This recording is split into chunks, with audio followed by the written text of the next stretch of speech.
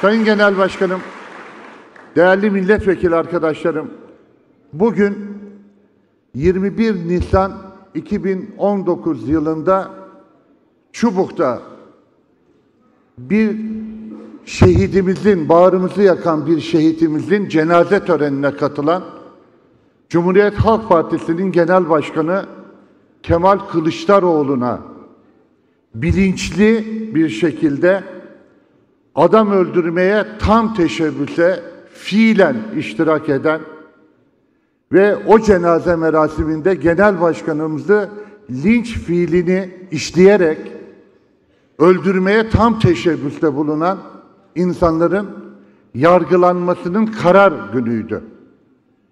Maalesef direkt İçişleri Bakanı Süleyman Soylu'nun Cumhuriyet Halk Partili il başkanları ve Cumhuriyet Halk Partilileri hiçbir şeyi cenazesine almayın diye vali ve kaymakamlara emir vererek halkı kin ve düşmanlığa tahrik ettiği, insanları kışkırttığı, hatta Soylu'ya tweet atarak ellerinde Kaleşinkov tüfeklerle sen kimi öldür dersen öldürelim, kimi vur dersen vuralım diyenlere hiçbir işlem yaptırmadığı davanın sonucu maalesef hiçbir sanık cezaevinde yatmayacak.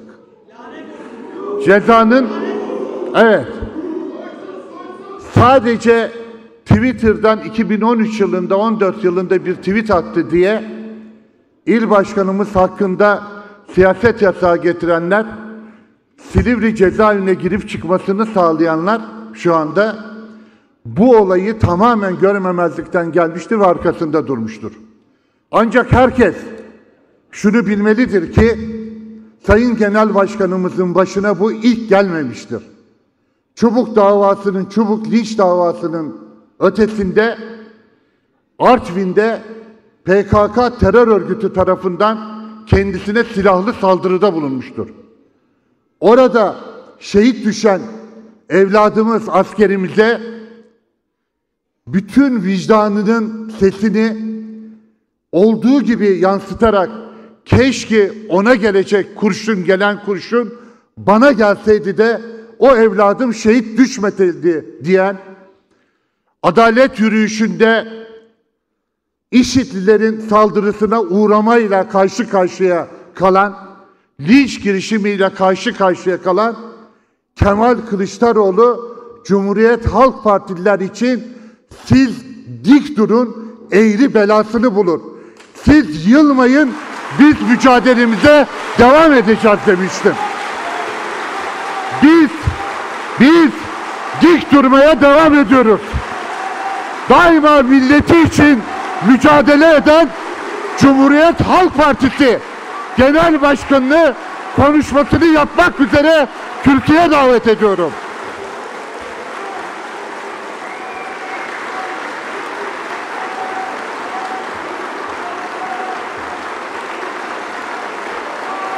Teşekkür ederim.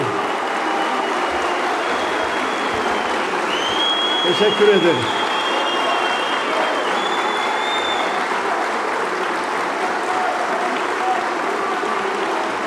Teşekkür ederim. Teşekkür ederim. Teşekkür ederim.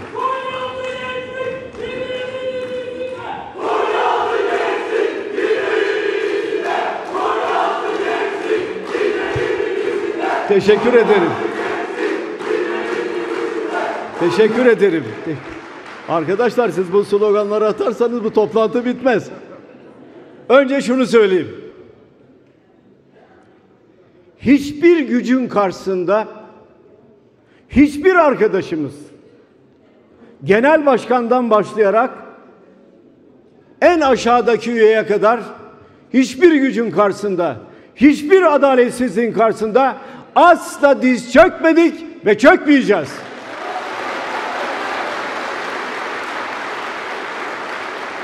Kimden gelirse gelsin. Baskı şiddet kimden gelirse gelsin. Asla boyun eğmeyeceğiz. Çünkü biz Kuvayi Milliye ruhunu taşıyan insanlarız. Çünkü biz ülkemizi seven insanlarız. Çünkü biz bizim gibi düşünmeyen insanların da özgürlüğüne kapı aralayan, onlara özgürlük alanı yaratan insanlarız. Çünkü biz herkesin inancına, kimliğine, yaşam tarzına saygı duyan insanlarız.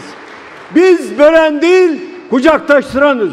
Biz bölen değil, ayrıştıran değil, beraber olmayı düşleyen insanlarız. Biz ülkemizi seviyoruz. Bayrağımızı seviyoruz. Vatanımızı seviyoruz. Bölmek istiyorlar, ayrıştırmak istiyorlar, kutuplaştırmak istiyorlar, kavga istiyorlar. İnadına barış diyeceğiz. İnadına birliktelik diyeceğiz. İnadına kucaktaşma diyeceğiz. İnadına demokrasiye inanmayanları sandık yoluyla göndereceğiz.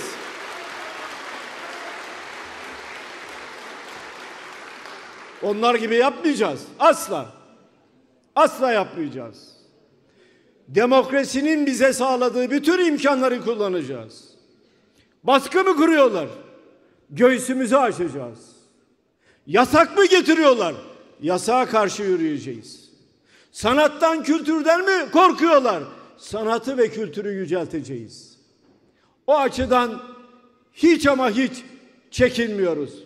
Söyledim, asla hiçbir baskıya asla ve asla izin vermeyeceğiz. Göğsümüzü açacağız. Her her baskıya karşı dik ve onurlu duruşumuzu her zaman, her ortamda, her yerde sergileyeceğiz. Herkes emin olsun.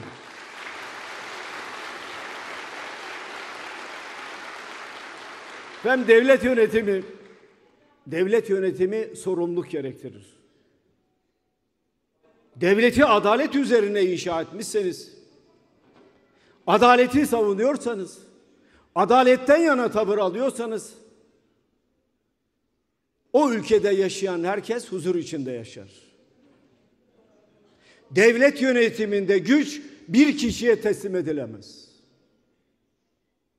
Devlet yönetiminde gücü bir kişiye teslim ederseniz o devletin sonu felakettir. Tarihte hangi devlet olursa olsun güç bir kişiye teslim edilmişse o devletin sonu hüsranda bitmiştir. O devletin sonunda hüsran vardır. O nedenle devlette güçler ayrılığı ilkesi diyoruz. Devletin her organının denetlenmesi gerektiğini e, dillendiriyoruz ve ifade ediyoruz. Ve devlet tek merkezden de yönetilmez. O nedenle yerel yönetimler vardır. O nedenle merkezi yönetim vardır. O nedenle bağımsız kurumlar vardır. Dolayısıyla devletin özünü oluşturan liyakati ve adaleti büyütmek zorundasınız. Ve bunu sağlamak zorundasınız. Ve devlet halk egemenliğine da dayanmak zorundadır. O nedenle meclisin duvarında yazıyor ya, egemenlik kayıtsız şartsız milletindir diye. Halk egemenliğine dayanmayan bir devletin sonu hüsrandır. Böyle bakmamız gerekiyor. Ve devleti yönetenler şeffaf olmak zorundadırlar. Erdemli olmak zorundadırlar. Ahlaklı olmak zorundadırlar. Devleti yönetenler baskı kurmaz. Devleti yöneten vatandaşın özgürlük alanını genişletir. O zaman o devlette adalet var demektir. Eğer devleti yönetenler şeffaf değilse, açıklık politikasını izlemiyorsa, halka hesap vermiyorsa o devlette yolsuzluk var demektir. Siyasetçiler zengin oluyor demektir. Köşeyi dönüyor demektir. Sadece kendileri değil, aileleriyle beraber köşeyi dönüyorlar demektir. Devlet yönetiminde sağlıklı işleyen bir devlet yönetiminde vatandaşın kimliği, inancı ve yaşam tarzı sorgulanmaz. Her vatandaşa devlet saygı duyar. Ve devleti yönetirken katılımcı bir anlayışı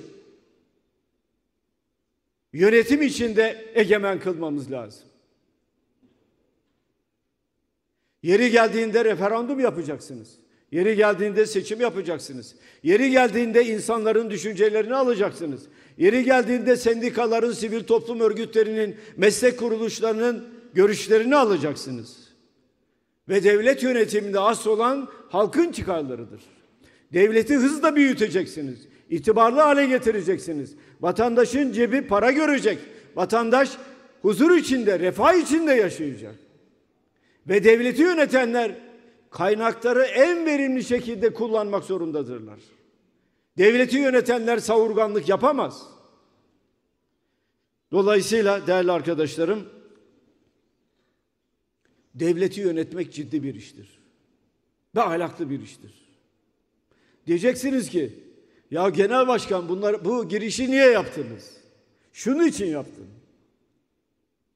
Bu devlet Milli Kurtuluş Savaşı'nı verdikten sonra en fakir olduğu dönemde bir taraftan Osmanlı'nın omuzlarına yıktığı bütün borçları son kuruşuna kadar öderken öbür taraftan fabrikalar yaptı.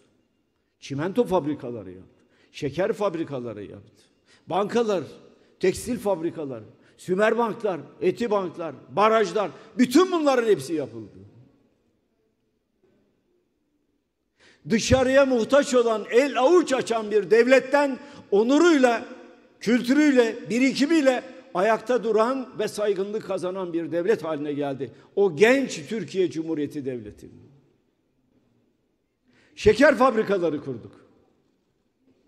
İlk yaptıkları iş geçmişte yapılanların tamamını satmak oldu. Şu soruyu geçmişte AK Parti'ye oy veren bütün kardeşlerimin kendi vicdanlarına sormasını istiyorum. AK Parti hükümetleri hangi fabrikayı kurdu? Bana bir fabrika örneği versinler. Çimento fabrikası mı? Şeker fabrikası mı? Hangisini kurdular? Satmanın dışında ne yaptılar? Değerli arkadaşlarım, biz her fabrika bir kaledir diyoruz. Her fabrika bir onurdur diyoruz. Her fabrika bir alın teridir diyoruz. Her fabrika bir üretimdir diyoruz. Her fabrika bir istihdamdır diyoruz. Her fabrika Türkiye'nin itibarına katkıdır diyoruz. Oturdular, şeker fabrikalarını sattılar. Ve 24 yıl sonra Türkiye Cumhuriyeti Devleti yurt dışından şeker ithal etmek zorunda kaldı. Saman ithal ediyorduk, et ithal ediyorduk. Mercimek, buğday ne varsa en sonunda şekerde ithal etmek durumunda kaldık. Şimdi her vatandaşımın kendi vicdanına sormasını istiyorum. Ne oldu da koskoca Türkiye Cumhuriyeti Devleti dışarıdan şeker ithal etmek zorunda kaldı? Ne oldu? Buna devletin sağlıklı yönetimi diyebilir misiniz? Devlet iyi yönetiliyor diyebilir misiniz? Her vatandaşımın vicdanına sorması lazım. Vicdanında sorgulaması lazım bu olayı. Bakın daha 2015 2015 yılında Konya'daki mitingde söylüyorum. Hiçbir şeker fabrikasını kapatmayacağız. Kendi şekerimizi kendimiz üreteceğiz. Kendi çiftçimizin gücüne, alın terine güveneceğiz. Hiç kimse endişe etmesin diyoruz. 2015. Onlar o dönemde fabrikaları nasıl satarız arayışı içindeler. 2018 grup konuşmasında bu kürsüde kamyoncusu, besicisi, çiftçisi kazanıyor. Fabrikada işçiler çalışıyor. Bu üretimin kaybedeni yok. Herkesin kazandığı ortama siz dinamit koyuyorsunuz. Özelleştireceğim diyorsunuz. Büyük bir kısmı kapanacak. Kapanmayacak diyorlar.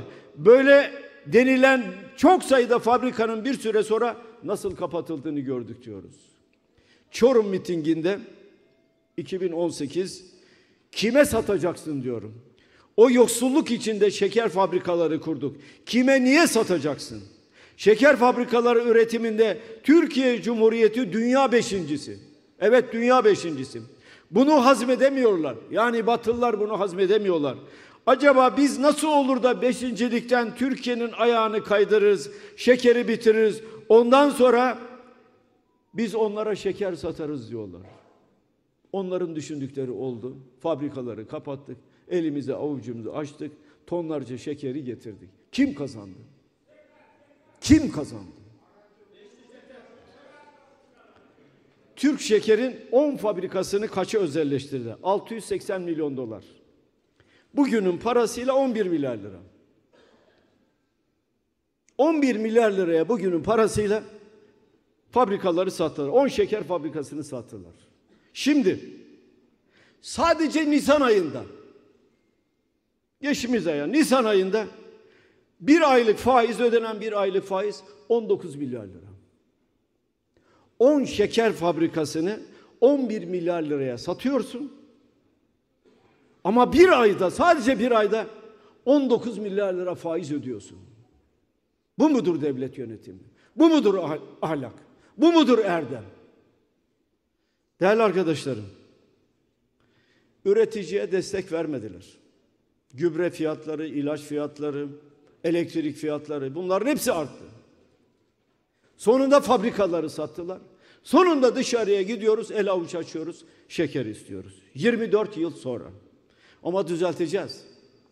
Hiç kimse endişe etmesin. Bizim iktidarımızda, halkın iktidarından çiftçinin yüzü gülecek. Kesinlikle bakın. Çiftçinin yüzü gülecek. Esnafın yüzü gülecek. Sanayicinin yüzü gülecek. Evde kadınların yüzü gülecek. Gençler bu ülkenin fabrikalarında, caddelerinde, sokaklarında, parklarında gülerek özgürlüğü telaffuz edecekler. Göreceksiniz. Türkiye'yi ayağa kaldıracağız, göreceksiniz. Huzuru getireceğiz, göreceksiniz.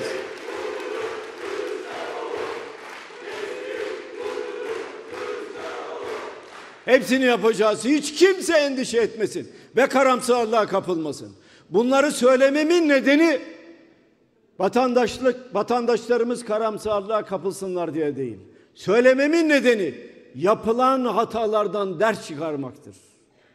Söyledik, yapmayın dedik. Yaptılar ve bugünkü ağır tabloyla karşı karşıya kaldık.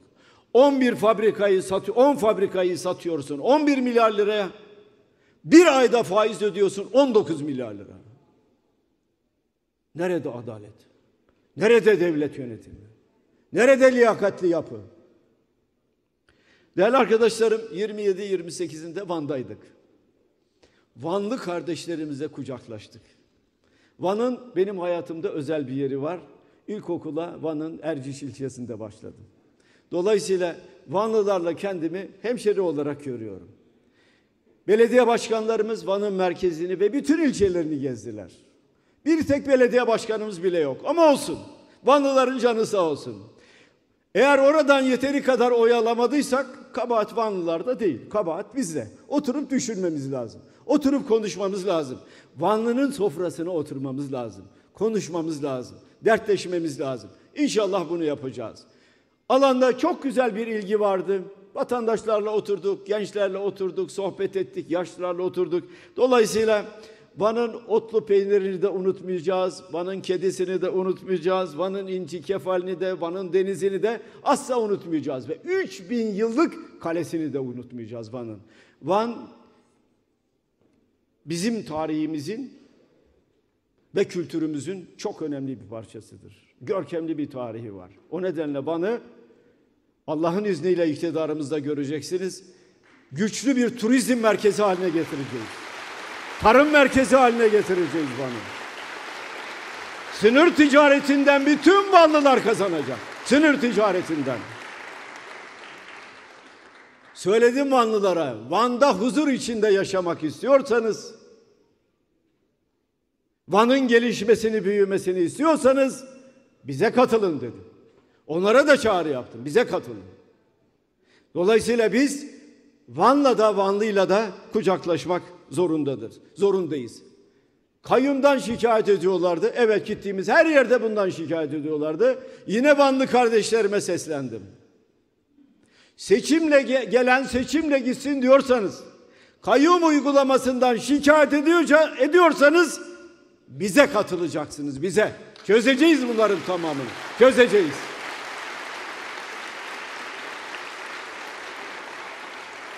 Bölgede gezdiğimde de evlere bir eve gittik. Orada da Selahattin Bey'in çok sevildiğini gördüm. Çok seviliyor Selahattin Demirtaş. Haksız uygulamalardan, adaletsiz uygulamalardan çok şikayet ediyor. Ben de bu kürsüde defalarca şikayet ettim. Bize oy versin vermesin. bir kişi adaletsizlikle karşı karşıyaysa ona sahip çıkmak insani görevimizdir. Politik değil bakın. İnsani görevdir. Çünkü haksızlık karşısında susan dilsiz şeytandır. Haksızlık karşısında susmayacağız. Söyledim. Mahkeme kararlarını uygulamıyorlar. Baskı yapıyorlar hakimlere. Ayım kararlarını yani Avrupa İnsan Hakları Mahkemesi kararlarını uygulamıyorlar. Yine Vanlı kardeşlerime söyledim. Osman Kavala'dan da efendim Selahattin Demirtaş'tan da eğer harp okulu öğrencileri darbeci diye yıllardır içeride onların da hakkını hukukunu savunmak istiyorsanız bize katılacaksınız bize. Bize katılacaksınız. Çözeceğiz. Beşli çetelerden şikayet ediyorsanız, sadakçılardan şikayet ediyorsanız, uyuşturucu baronlarından şikayet ediyorsanız adres belli bize katılacaksınız dedi.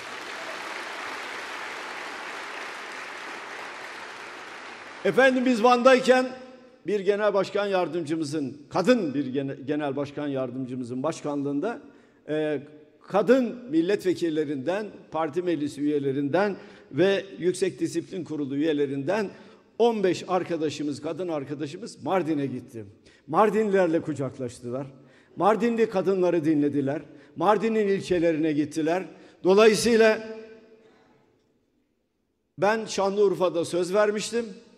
Mardin'e gitmedim ama Diyarbakır'da Mardinlilere de söz verdim. Çiftçilerin büyük sorunu var. Olağanüstü güzel bir Mardin Ovası var. Ankara'dan Mardin Ovası'nda çalışan, alın teri döken, emek harcayan bütün Mardinli kardeşlerime sözümdür. Halkın iktidarında, bizim iktidarımızda altı ilde saymıştım bir daha sayayım. Diyarbakır, Şanlıurfa, Mardin, Şırnak, Siirt ve Batman'da çiftçiye elektriği ücretsiz vereceğiz. Ücretsiz.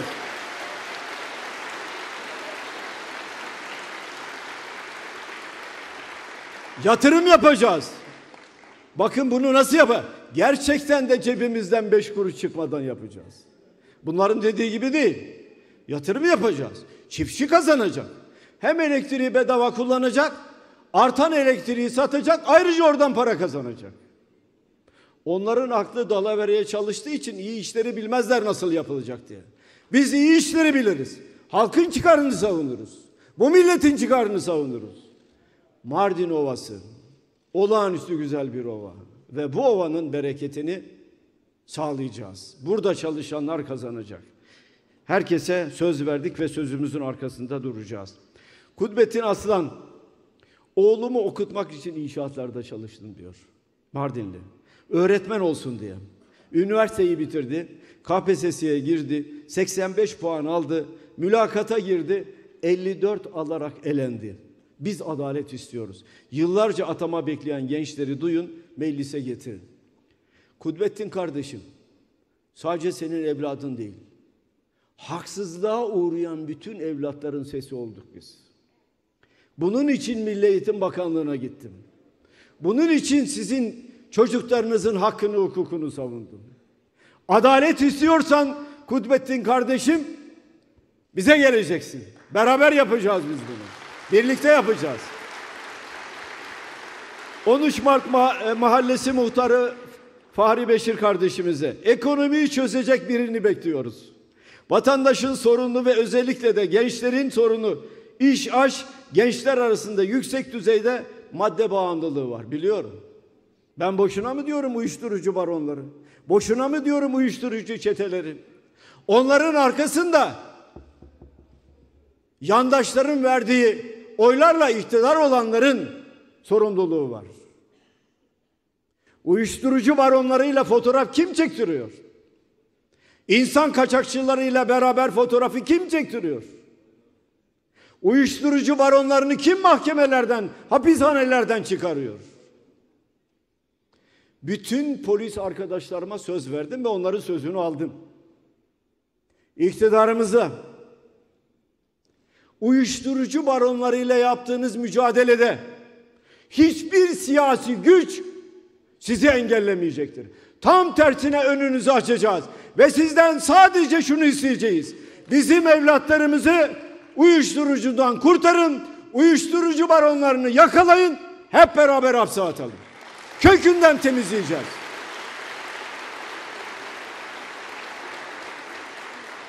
Öyle bakanlar, şunlar, bunlar uyuşturucu çetelerin arkasında. Bu defteri kapatacağız. Bu defteri kapatacağız. Ekonomiyi çözecek birini bekliyoruz. Diyor. Ekonomiyi çözecek birini değil. Ekonomiyi çözecek onlarca kişi var. Aklı başında olan her insan ekonomik sorunları çözer. Aklı başında olan ve milletinin çıkarlarını düşünen herkes bu sorunu çözer. Altılı masayı niye kurduk? Altı genel başkan niye bir araya geldi? Altı genel başkan Türkiye'nin içinde bulunduğu sorunu neden çözmek için bir araya geldi? Bu ülkede huzur olsun diye. Bu ülkede herkesin karnı doysun diye. Bu ülkede işsizler olmasın diye. Üniversiteyi bitiren evladımız eve kapanıp kalmasın diye. Çözeceğiz bunların tamamını. Hiç kimse bundan en ufak bir endişe duymasın. Yeter ki bize güvenin. Nusaybin sınır kapısı evet onu da açacağız. Van sınır kapısı gibi bütün sınır kapılarımızı gayet güzel projeler, bilgiler, birikimler her şey var göreceksiniz. Türkiye'yi onların hayal edemediği güzelliklerle tanıştıracağız.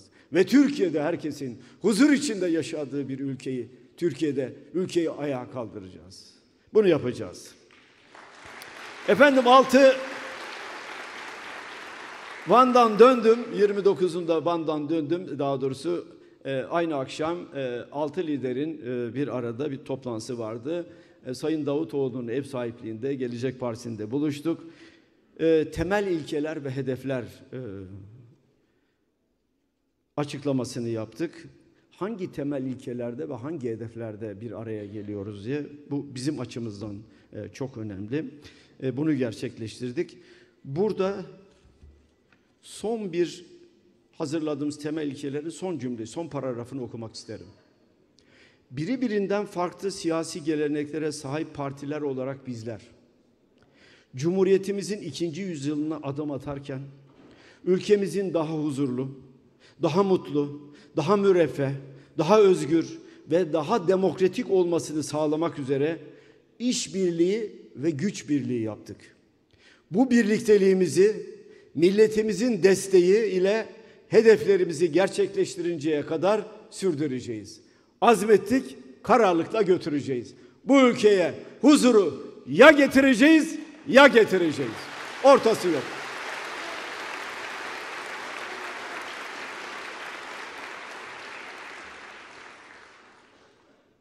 Efendim bu temel hedefler dışında bir açıklamamız daha oldu. En uzun e, görüşmeydi bu görüşme. Altı liderin görüşmesi. iki ayrı metin kamuoyuyla paylaşıldı. Bunlardan birisi de geçen e, toplantıda aldığımız, e, kurulmasına karar verdiğimiz komisyonların ne hangi aşamaya geldiği, hangi çalışmaları yaptığı konusunda seçim güvenliği komisyonu kurmuştuk. Burada dört aşamalı güvenlik sağlayacağız. Dört aşamalı. Seçim öncesi, bugün. Seçim dönemi, karar alındıktan sonra. Seçim günü, oy kullanırken. Seçim sonrası sayılırken ve tutanaklar alınırken.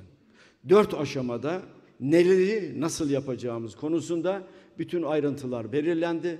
Altı partinin ilgili genel başkan yardımcıları ve e, dijital ortamdan sorumlu olan e, kendi e, partilerinde arkadaşlar bir araya geldiler ve bu çalışmayı bitirdiler. Bu çalışma 6 Haziran e, pazartesi günü kamuoyuyla paylaşılacak. E, bu konuda genel başkan yardımcısı arkadaşlar, bütün partiler bir araya gelip bunu paylaşacaklar.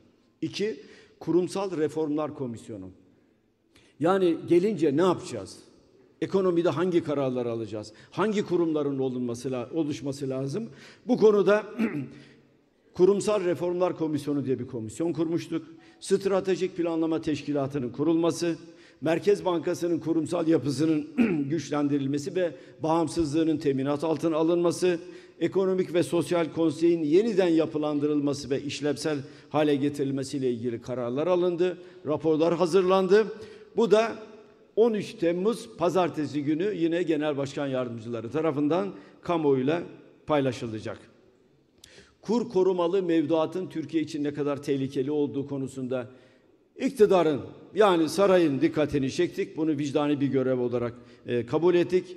Kapsamlı bir göç politikası oluşturmak amacıyla da e, bir komisyon kurulmaya daha karar verdik. Sığınmacılar var, göçmenler var, kaçaklar var. Dolayısıyla altı lider, altı siyasi parti bu konuda bir ortak görüş oluşturmak zorundayız. E, ve bu- bununla ilgili de bir komisyon kurulmasına karar verildi. Kamuoyuna yaptığımız açıklamanın son paragrafını okumak isterim. Çok zor şartlar altında hayat mücadelesi veren milletimize ortak mesajımız şudur. Her gün derinleşen sorunlara son verme hedef iradesiyle bir araya gelen liderler olarak iktidarın gündem mühendisliklerini boşa çıkararak ülkemizi bu dar boğazdan kurtaracak, milletimizi hak ettiği demokratik ve müreffeh Türkiye hedefine ulaştıracağız. Evet inşallah bunu yapacağız. Beraber Türkiye'nin huzuru için elimizden geleni yapacağız. Efendim e, İstanbul İl Başkanımız adaletsiz kararlarla, hukuksuz kararlarla bugün e, mahkum mahkum edildi. Daha doğrusu e, hapis cezasıyla mahkum edildi ve bugün e, savcılığa gitti. Silivri'de şu anda. Sabahleyin e, evden ayrılmadan önce beni aradı, kendisiyle konuştuk. Morali gayet iyi. Çünkü biliyor ki bir suç işlediği için değil, onurlu ve dik durduğu için aslında cezalandırılıyor. Onurlu ve dik durduğu için.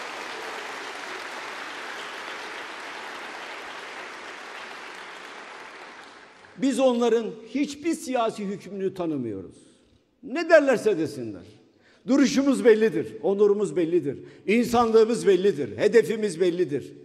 Ne için çalıştığımız bellidir.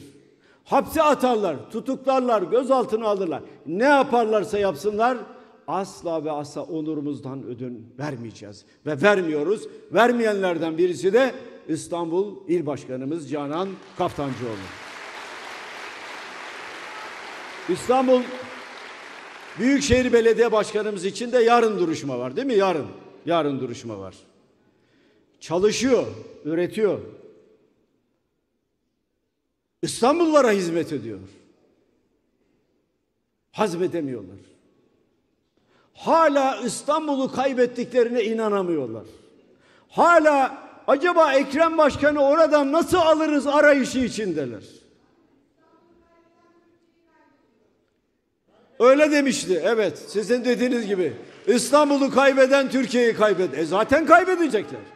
Ya bıçak kemiğe dayandı. Mutfaklarda tencere kaynamıyor. Beyler Amerika ile Türkiye arasında dolarları transfer ediyorlar. Ben bunu bilmiyor muyum? Açıkladım. Oraya da geleceğim birazdan. Oraya da geleceğim.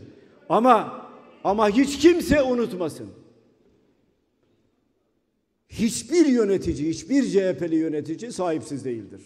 Arkasında milyonlar vardır. Hep beraber milyonlar olarak arkadaşlarımızın arkasındayız. Dik ve onurlu duruşları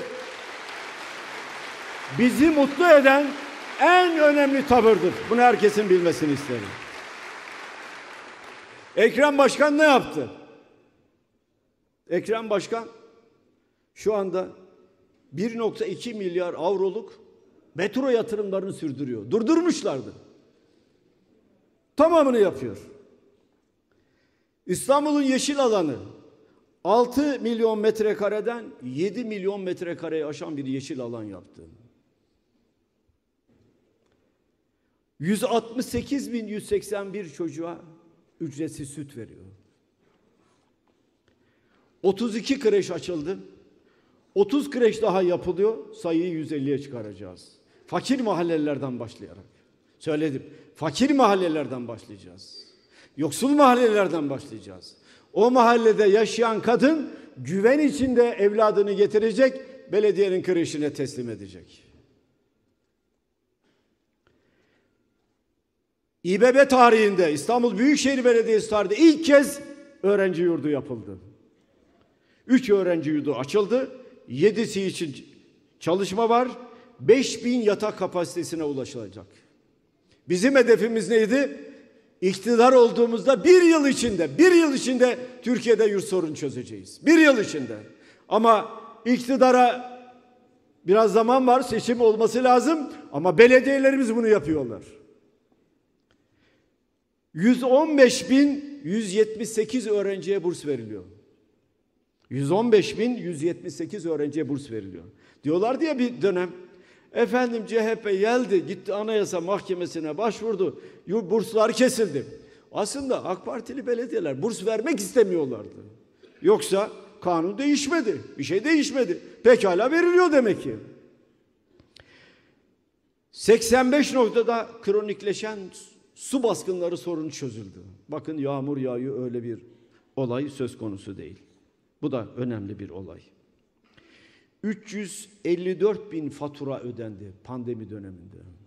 85 milyon liralık bir destek verildi. Ki belediye başkanlarımız kampanya açtıklarında vatandaşların yaptıkları nakdi yardımlara el koydular. Belediyelere vermediler. Vatandaşa hizmeti götürmesin diye. Şu kine bakın, şu öfkeye bakın Allah aşkına. Ya kendi cebine koymayacak. Vatandaşa verecek. Vatandaşın huzuru için bu parayı harcayacak. Alamazsın dediler bankaya gidip el koydular bu. Çöpten elektrik üretilmeye başlandı. Çiftçilere destek. 17 milyon aşkın 17 milyonu aşkın fide dağıtıldı. 1200 ton kuzu yemi, 1175 torba silajlık mısır tohumu, 1248 ton süt yemi, 2541 torba yağlık ayçiçeği tohumu dağıtıldı. Ayrıca 850 bin ton patatesten tutun 20 bin litre zeytinyağına kadar alındı ve İstanbul'un yoksul ailelerine dağıtıldı. Bütün bunları hazmedemiyorlar. Hazmedemedikleri için de acaba Ekrem Başkan'ı nasıl hangi formülle oradan alırız da oraya birisini tayin ederiz, birisini atarız. Bu arayışa girmek vatana ihanettir. Bu arayışa girmek demokrasiye ihanettir.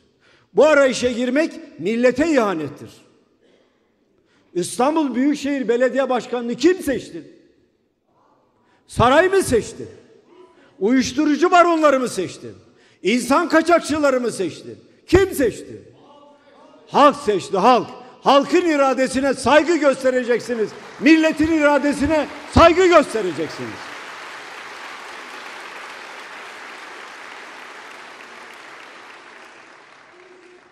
Efendim bu arada bir parantez açayım. Bu arada birisi de beni hapse göndermekle tehdit etmiş.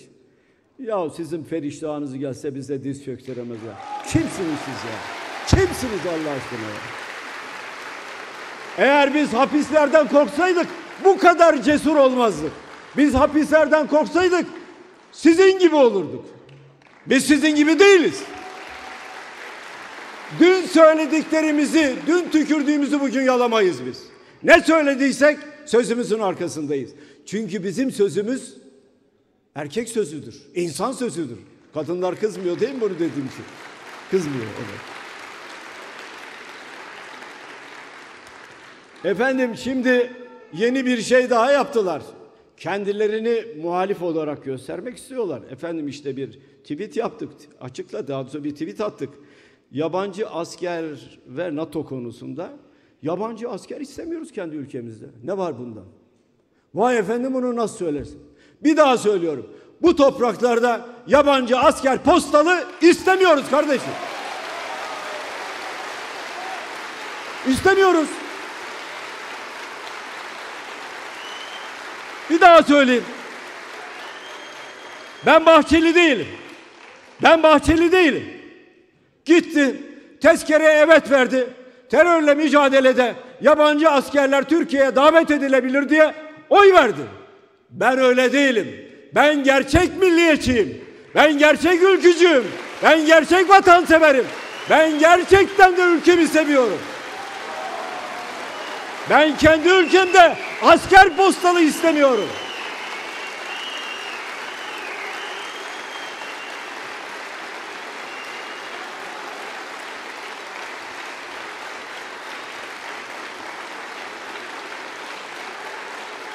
Teşekkür ederim. Şimdi bu muhalif görünenler işte efendim Kılıçdaroğlu şöyle Kılıçdaroğlu böyle diye bize ders vermeye kalkıyorlar. Ya sen daha düne kadar zorba hakkında tek cümle bile yazmadın ya. Tek cümle bile yazmadın. Bize ayar vermeye kalkıyor. Gazeteci olduklarını söylüyorlar. Dün ne olduklarını biliyorduk, bugün de ne olduklarını biliyoruz. Bu arada şunu da söyleyeyim tabii. Gerçek gazeteciler var. Kalemini satmayan gazeteciler var. Kalemini satmadığı için içinden olan gazeteciler var. Bu gazeteciler de beni eleştirir. Onların eleştirileri benim başımın üstüne.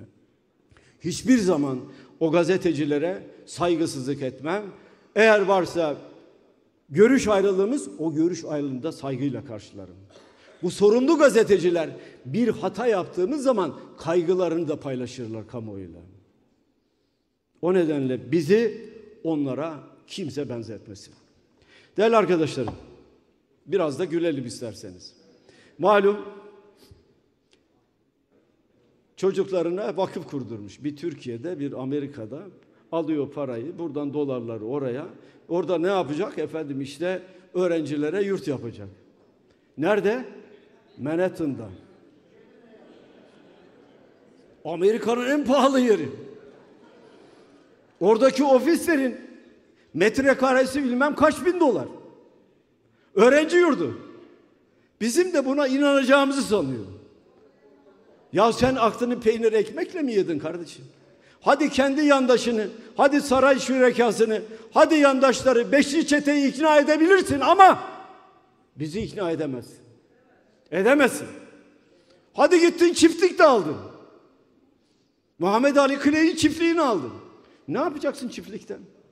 Farz edelim ki herhangi bir vatandaşımız gitti bir yerden çiftlik aldı. Ne yapar? Gider çiftliğe yerleşir değil mi? En azından tatilini yapar çiftlikte. En azından bir iş yapar. Çiftliği niye aldın? Tık yok. Gökdeleni Manhattan'a niye kurdun? Tık yok. Efendim ne olacak? Kılıçdaroğlu'nu mahkemeye vereceğim.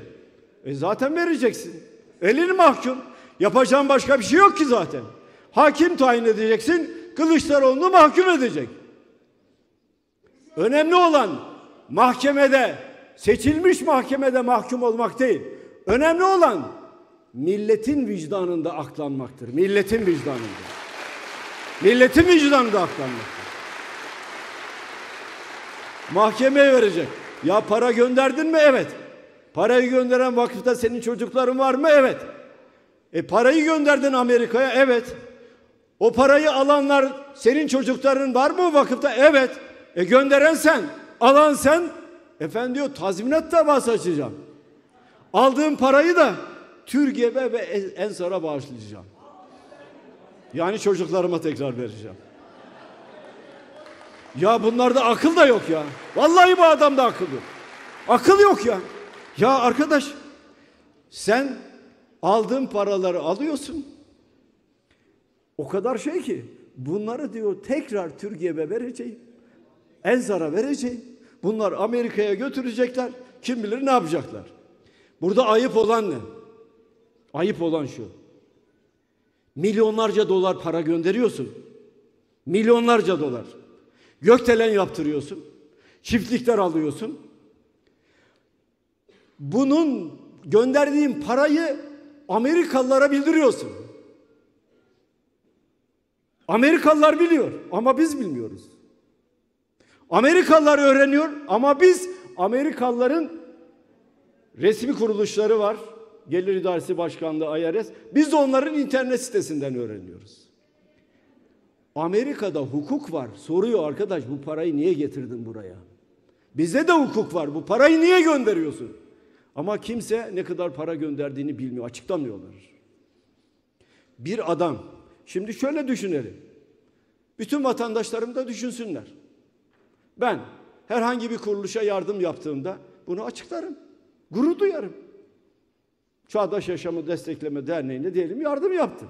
Kızılay'a yardım yaptım. Yeşilay'a yardım yaptım. Ben gurur duyarım. Yardım yaptık deriz. Bunlara yardım yapanların kimliği gizli. Niçin? Başka bir şey var. Aldın ihaleyi buraya öde bakayım milyon dolarları. Tabii ihale komisyonu buraya ödeyeceksin diyor. E biz bunları bilmiyor muyuz? Biliyoruz. Şimdi dava açmış mahkemeye. Çok teşekkür ederim. Ben bu TÜRGEV'in, bu Ensar'ın bütün mal varlıklarını, aldıkları bağışları, kimlerden aldıklarını mahkemeye isteyeceğim. Ve Türkiye bunların tamamını öğrenecek. Belki de vazgeçebilirler dava açmaktan.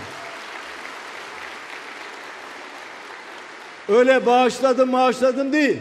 Havale merkezine parayı gönderiyor. Havale merkezine. Yaptığı bu. Bütün vatandaşlarıma söylüyorum.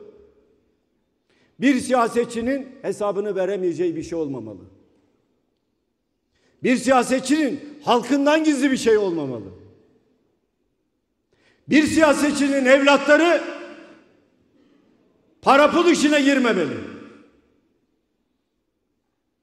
Operasyon yapacağım diyor şimdi. Sınır ötesi operasyon yapacağım diyor. E senin oğlun var. Dünya kadar milyonları var. E ok atmakta da çok becerikli. E gönder.